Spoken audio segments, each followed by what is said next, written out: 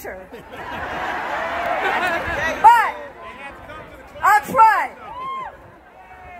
Let's let's just say thank you to Reverend Sharpton again for being with us. So this is a which side are you on moment. Yes. 90% of Florida's children attend Florida's public schools. Yes. Parents choose public schools in Florida. And like all this Sea of Red is saying, it's time to make those public schools the schools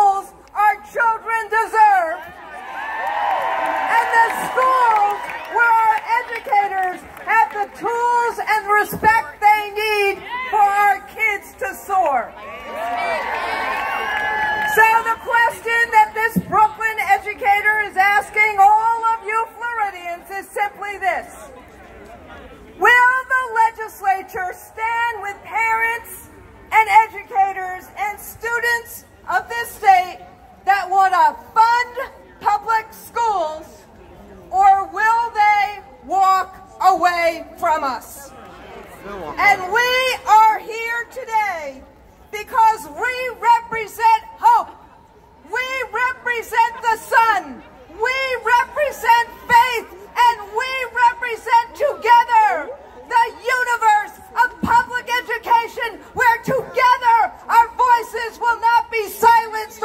or denied.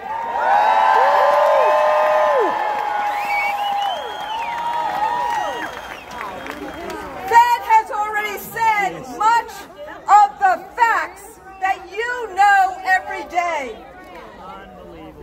Florida, teacher pay, 46th in the nation, fourth from the bottom.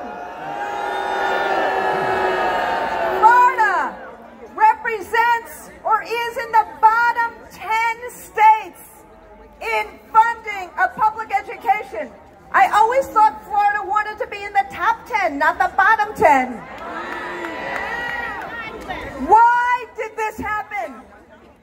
We've had 20 years of defunding public schools, 20 years of a petri dish of failed policies, where children have been denied the education they deserve and educators have been pushed out of our profession and out of the state.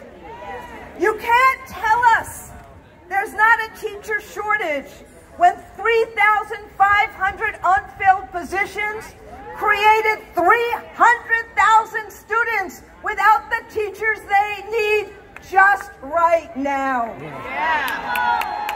And as the Reverend, Reverend said, when half of the kids in America come to us with trauma, we need to have guidance counselors and nurses. We need to meet their needs, not just hope to meet their needs.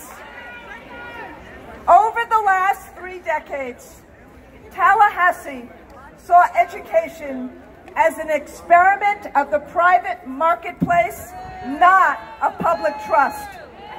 Defunding schools by budget cuts, and then on top of it, siphoning off the money that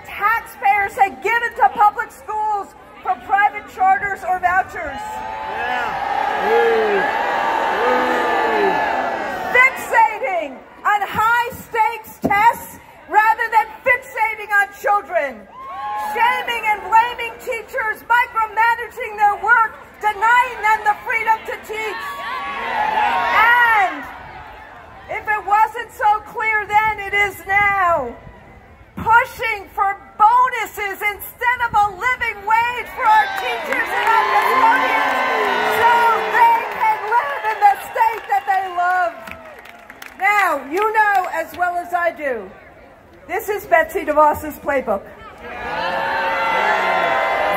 She did it in her home state of Michigan. She's now trying to do it in her adopted state of Florida. Are we going to let her?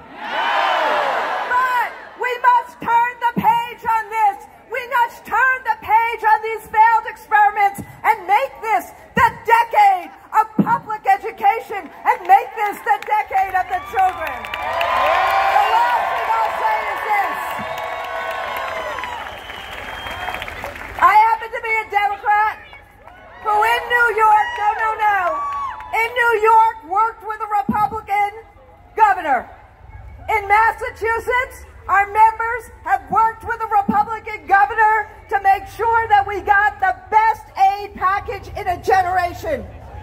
Your state's constitution says that public education is vital.